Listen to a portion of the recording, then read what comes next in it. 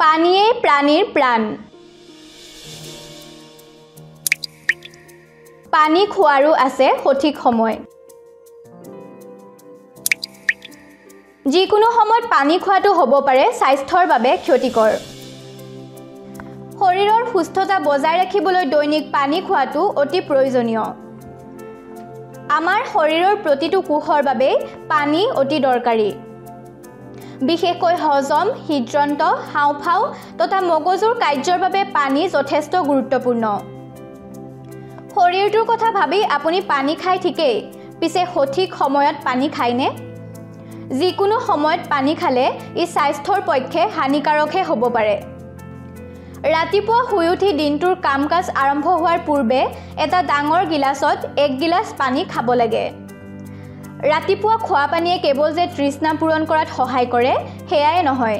ই দীৰ্ঘম্যাদী সময়লৈ শৰীৰটোক পানীৰ প্ৰয়োজনীয়তা পূৰণ কৰে। লগতে ই মানুহৰ মনোভাৱ মগজুৰ কাৰ্যক্ষমতা তথা শক্তিৰ স্তৰ উন্নত কৰাত সহায় কৰিব পাৰে।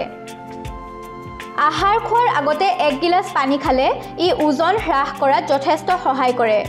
কিয়নো ই আপোনাৰ অত্যাধিক খোৱা প্ৰতিহত কৰাত সহায় কৰে। আনহাতে খাদ্য খোৱাৰ সময়ত খোৱা পানীয়ে হজম হোৱাত সহায় কৰে। আবেলি প্ৰায় তিনি বজাত হয়তো আপোনাৰ চাহ একাপ খাবলৈ মন যায়। কিন্তু এই সময়ছোৱাত চাহ কফি খোৱাৰ সলনি এক গিলাচ পানী খোৱাটো অতি সুবিধাজনক হ'ব। কিয়নো খোৱাৰ ছয় ঘণ্টাৰ আগতে কেফেইন সেৱন কৰিলে ই আপোনাৰ টোপনিত ব্যাহত কৰিব পাৰে। সেয়েহে চাহ বেছিকৈ খাবলৈ মন গ'লে আপোনাৰ বাবে পানীটো বেছি উপযোগী হ'ব।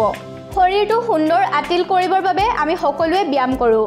কিন্তু ব্যায়াম আৰম্ভ কৰাৰ আধা ঘণ্টাৰ আগতে এক গিলাচ পানী খাবলৈ চেষ্টা কৰিব লাগে।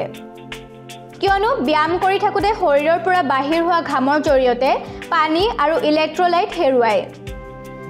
সেয়েহে ব্যায়াম কৰাৰ আগতে ব্যায়াম কৰাৰ সময়ত তথা পাছত যথেষ্ট পৰিমাণে পানী খাব লাগে।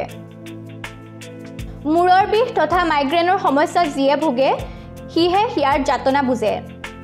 মূৰৰ বিষ ডিহাইড্ৰেশ্যনৰ এক সচৰাচৰ লক্ষণ হ'ব পাৰে। সেয়েহে এনে হ'লে অধিক পানী খোৱাটোৱে ইয়াৰ প্ৰাথমিক চিকিৎসা বুলিব পাৰি।